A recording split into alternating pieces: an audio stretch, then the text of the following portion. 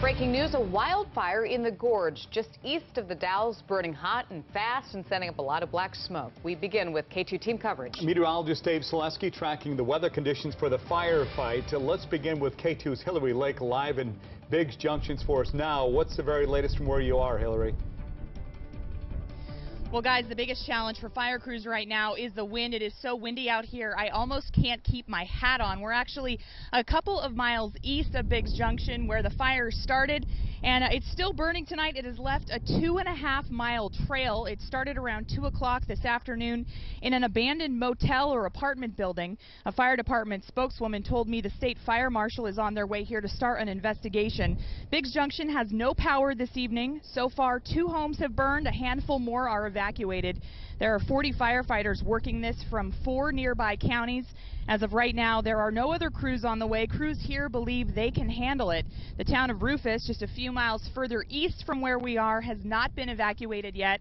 If that happens, those will be done door to door. Now we're on Old Highway 30. It is closed right now because there are some boulders in the road uh, further east from where we are, and fire crews expect to be here working on this throughout the night. Live in the Gorge, Hillary Lake, K2 News. Hillary, thank you. Let's turn now to Chief Meteorologist Dave Selesky in the Weather Center. And Dave, you are tracking the very latest fire conditions. What are you seeing? We have that red flag warning up right now from the Gorge all the way east, the entire width of the Columbia Basin and much of central Oregon, and that's going to be in place now tonight and all the way through Friday. So we're not going to see much change or much improvement in the fire weather conditions on the east side of the Cascades.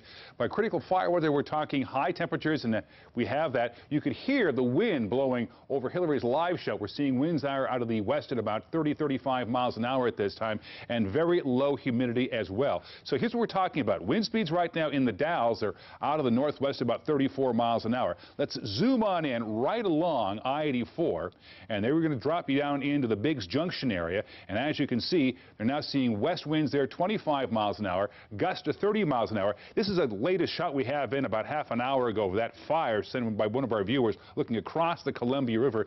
And notice how the smoke is just laying down being kept there because we don't have much, we've got an awful lot of wind right there, so that smoke is not allowed to rise up vertically. It just falls flat and parallels right along I-84. And as you can see in the foreground there, very dry conditions on the east side of the Cascades and that likely not going to be changing anytime soon. Back to you guys. David, thank you. Also, firefighters in Clackamas County are battling another blaze tonight. These are pictures from our viewers, and you can see this is a brush fire.